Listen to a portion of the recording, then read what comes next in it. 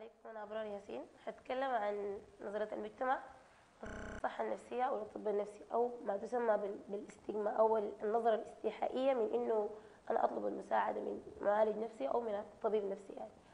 إحنا في مجتمع أو في عصر ما بيخلو من المشاكل ما بيخلو من الضغوط ما بيخلو من إنه الواحد محتاج فعلا ينفذ عن الطاقات السلبية يعني يتكلم عن المشاكل وإنه يحاول يحلها. أي زول بتلاقيه في الشارع بيقول لك هاي والله كلنا محتاجين.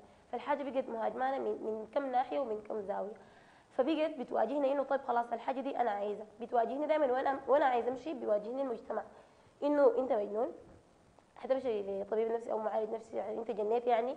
فرابطين فكريا كده بإنه ارتباط الحاجة دي بمشيتك إنه أنت خلاص يعني جنيت.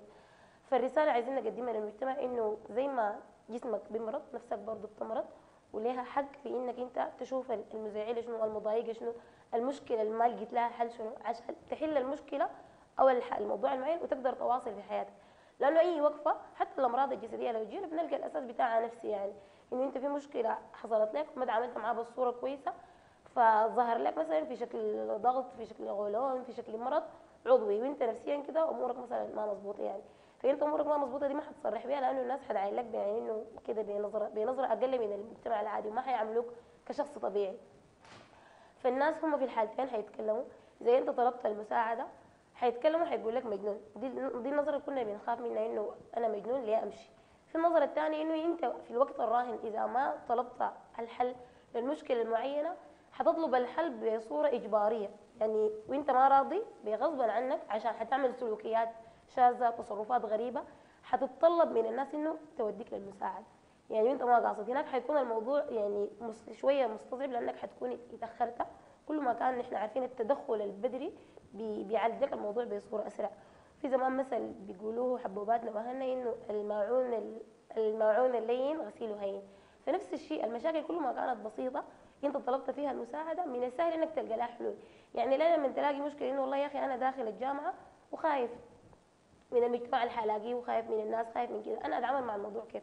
هنا الموضوع ممكن حتى ذاته ما يكون جلسات طويلة ممكن يكون يعني سيشن واحدة يشرحوا لك فيها إنه يا والله المفروض تتعامل مع واحد اثنين ثلاثة عشان تعدل الموضوع. يبقى لك الموضوع حتى أنت ممكن توعي زول غيرك إنه يا أخي أنت لما تجي المرحلة دي ما تفضل مرحلة انتقالية أنت خلصت المرحله بتاعت الثانوي وعايز تدخل لمرحلة جديدة.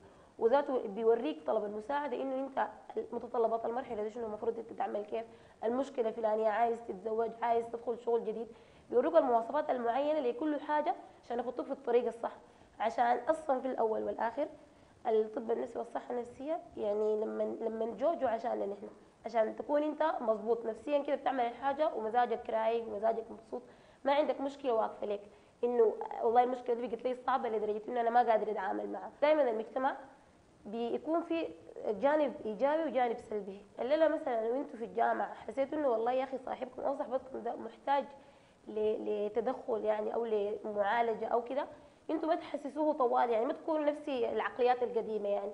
أنتوا حاولوا خليكم أنتوا التحديد زي ما بيقول لك انت الحاجة اللي عايزها كون انت انت عايز تكون إنسان عايز الناس تحترمك فانت خليك محترم.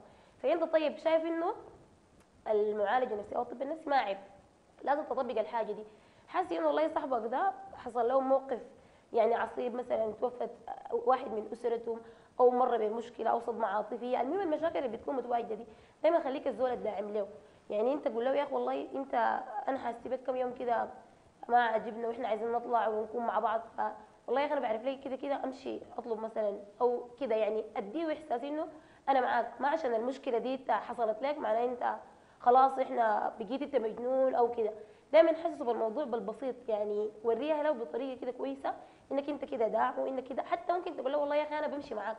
أنت هنا بتعمل اثنين في واحد أنت هنا بتكون دعمته وقفت جنبه كده حتكون مصدر أمان بالنسبة له وفي نفس اللحظة عادي حتكون أنت تخلصت نظرة المجتمع أو النظرة السلبية للطب النفسي أو الصحة النفسية. لما تجيك مشكلة حتقول والله صاحبي ده زمان أنا لما نصحته بقى كويس بس هذا تجاوز الموضوع فأنا برضه حأمشي. فهمت؟ فأنت أبدأ من نفسك. ما تقول لا كل زول منتظر الثاني يتغير. لا المجتمع ما حيتغير ما لم إحنا نتغير لأنه المجتمع ده إحنا ذات. أنا أنتوا أي زول هو المجتمع. فأنت كون التغيير اللي عايز يكون في المجتمع شنو؟ لقيت زول محتاج لمساعده سوقه من يده لو قدرت أو وجهه إنه يمشي كيف عشان لما تحصل لك مشكلة أو زول قريب لك تجي تطلب في النها- في النهاية منها المساعدة. آه، في الآخر إحنا يعني بنقول إنه الطب النفسي والصحة النفسية ما عيب. إحنا وجدنا عشانكم فاطلبوا المساعدة النفسية عشان عشان نفسكم أنتوا في الأول. بعد ذاك ثاني باقي الناس كلهم تحت لكن أنتوا في الأول.